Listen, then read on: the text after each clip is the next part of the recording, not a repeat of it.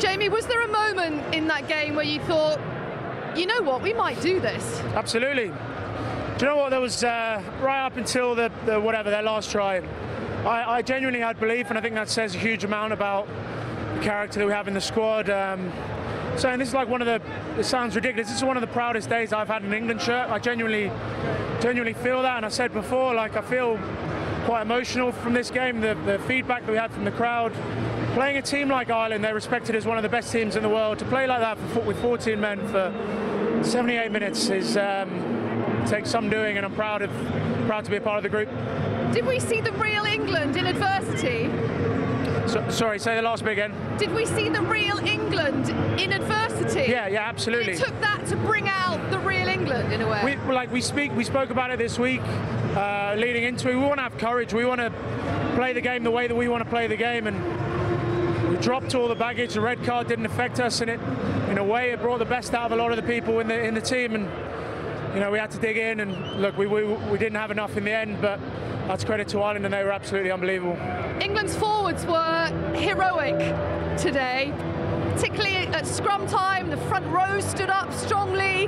How proud of that effort in particular? Yeah, look, I think like our scrum is something that we've always been very, very proud of. You know, the Irish pack are being touted as one of the best packs in the world, and rightly so. We took them on with seven men, so take a lot of take a lot of pride of that. Jack Nowell really enjoyed coming in.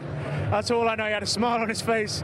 He's the best scrummaging flanker I've ever come across. Now, look, uh, we can take a lot of pride from that, and um, got a big test next week.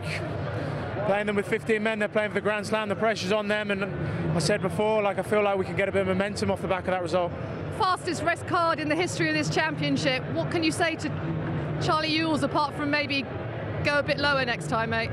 Such such a hard situation. Uh, I really really feel for him, feel for the referee. Um, so so difficult. Um, but look, we're going to rally around him. Charlie's a great guy. He's not a dirty player whatsoever. And um, look, these, these, these things unfortunately are happening, and uh, you know, we're just going to have to get on with them. And finally, are you emotional, Jamie, because you can't win the championship because we haven't perhaps seen the best of this England during this championship? Uh, probably not necessarily the latter, but um, I'm gutted that we can't win the championship. That's what we aim to do.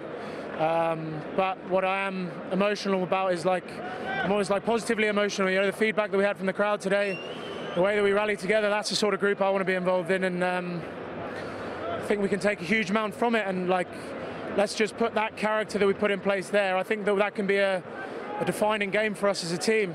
And look, don't get me wrong, I am gutted about the result, but I just think there are so many positives that we can take from this game, and um, we're going to grow, and we're going to grow, and come 2023, we'll be uh, we'll be in a better place than we are now.